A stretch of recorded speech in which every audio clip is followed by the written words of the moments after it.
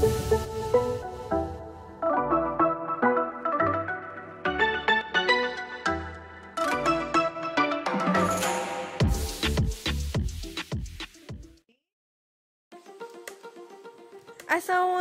ada yang bisa tebak nggak? Kira-kira ini siswa saya lagi ngapain ini dengan uh, lagi jongkok-jongkok, pegang-pegang um, boneka, kira-kira ng lagi ngapain sih?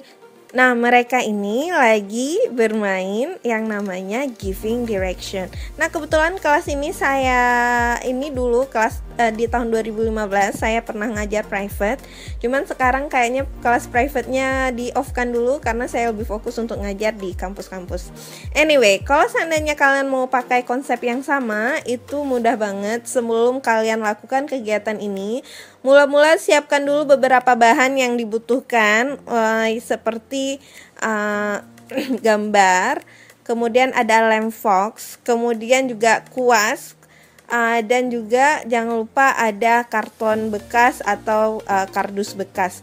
Kemudian setelah kalian print yang namanya gambar, kalian tempelkan di kertas yang uh, yang di kertas yang keras dan kalian um, apa namanya um, di coating apa istilahnya ya kayak dilapisin gitu. Kalian lapisin gambar kalian ini kalau kalian lihat gambarnya ini agak-agak kilat ini sebenarnya cuman saya lapisin pakai lem fox yang dicairkan sedikit pakai air kemudian dikuaskan ke seluruh permukaan gambar biar gambarnya awet dan tidak cepat rusak.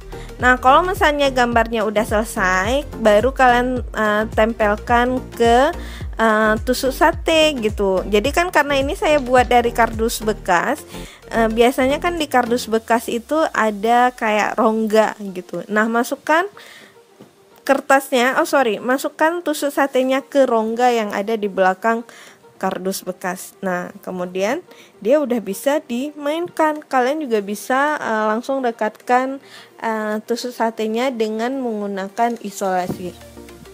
Nah, kemudian ini juga hal yang paling penting, siapkan juga karpet. Ini saya nggak tahu ini. Kalau misalnya memang kalian nggak punya karpet, mungkin kalian bisa gambar, gambarin aja satu uh, satu map yang besar di atas uh, karton. Tapi kebetulan saya punya karpet dan karpetnya ini memang untuk belajar. Uh, di mana di situ ada peta satu tempat, ada taman bermain, ada salonnya, ada barbershop, ada cafe, ada restoran, pokoknya ada beberapa area.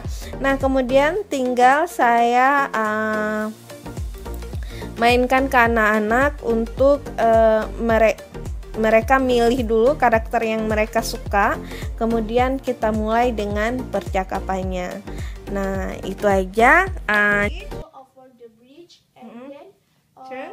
turn left, left, left around the music shop. Go around the music shop. Go around the music so shop. Mm -hmm. uh, and um, uh, you uh, you will find the junction and towards the street. Kok towards the street? Apa maksudnya? Ikuti jalan. Oke, okay. go along the street. Go along the street. The cafe is the cafe is uh, on on uh, your on your right. On your right. Very good. Itu cara untuk mengajarkan giving direction. Nah kalau ka kalian misalnya mungkin ini kalau kelas yang besar atau uh, mungkin ada sekitar 20 siswa itu bakalan nggak kan cukup waktunya. Dan ini juga bakalan nggak efektif karena dia perlu space yang besar. Jadi kalian bisa coba uh, metode pengajaran yang lain untuk mengajarkan giving direction. Langsung aja cek ke video saya yang sebelumnya jadi itu aja. Thank you so much for listening and also watching. Assalamualaikum warahmatullahi wabarakatuh.